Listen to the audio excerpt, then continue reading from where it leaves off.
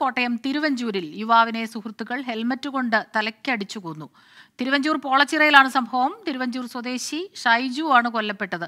ഇയാളുടെ രണ്ട് സുഹൃത്തുക്കളെ പോലീസ് കസ്റ്റഡിയിലെടുത്തു. വിഷ്ണു സുരേഷ് കോട്ടയത്ത് നിന്ന് ചേരുന്നുണ്ട് വിവരങ്ങളുമായി. വിഷ്ണു സുഹൃത്തുക്കൾ തന്നെയാണ് ഇത് ചെയ്തത് എന്നുള്ളത് കൂടുതൽ സങ്കടമുണ്ടാക്കുന്നു. എന്താണ് യഥാർത്ഥത്തിൽ സംഭവിച്ചത്?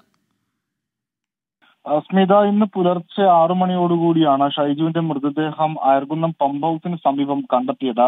തുടർന്ന് പോലീസ് എത്തി നടത്തിയ പരിശോധനയിൽ ശരീരത്തിൽ ആസകലം ഇത്തരത്തിൽ മുറിവേറ്റ പാടുകളും പരിക്കുകളും ഉണ്ടായിരുന്നു. ഇതിന് ഭാഗമായാണ് ഇത്തരത്തിൽ അന്വേഷണം ആരംഭിക്കുകയും സുഹൃത്തുക്കളിലേക്ക് അന്വേഷണം ചെന്നെത്തുകയും ചെയ്തത്.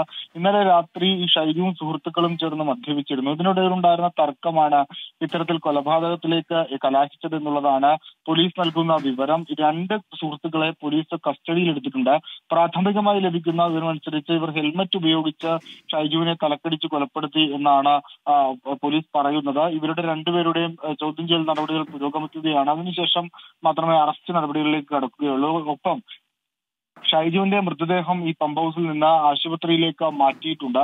പോസ്റ്റ്മോർട്ടം നടപടികൾക്ക് വിധേയമാക്കും. എന്താണ് മരണ കാരണമെന്നുള്ള കാര്യങ്ങളെല്ലാം വ്യക്തമാകേണ്ടിയിരിക്കുന്നു. ആ ഒരു പശ്ചാത്തലത്തിലാണ് മൃതദേഹം അങ്ങോട്ടേക്ക് മാറ്റിയിരിക്കുന്നത്. ഒപ്പം ഏത് സാഹചര്യത്തിലാണ് ഈ തർക്കമുണ്ടായത് എന്നുള്ളതാണ് പോലീസ് നിലവിൽ പരിശോധിച്ചു വരുന്നത്. ഈ രണ്ട് സുഹൃത്തുക്കൾ ചേർന്ന് ഈ ഇദ്ദേഹത്തെ തലക്കടിച്ച് കൊലപ്പെടുത്തി എന്നുള്ളതാണ് പോലീസ് നൽകുന്ന വിവരം. അതിൽ രണ്ടുപേരെയും പോലീസ് കസ്റ്റഡിയിൽ എടുത്തിട്ടുണ്ട്.